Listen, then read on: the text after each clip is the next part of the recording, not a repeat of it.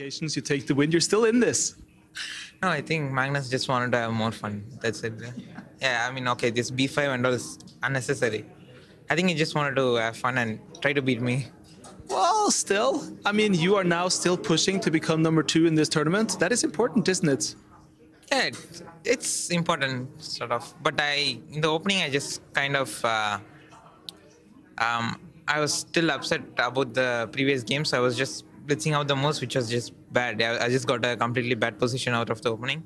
And okay, it's just after that, he, he played this B5 and all. That means you already have practice. You can now go and blitz more moves. But those are bad, so. Good luck, Yeah, thanks.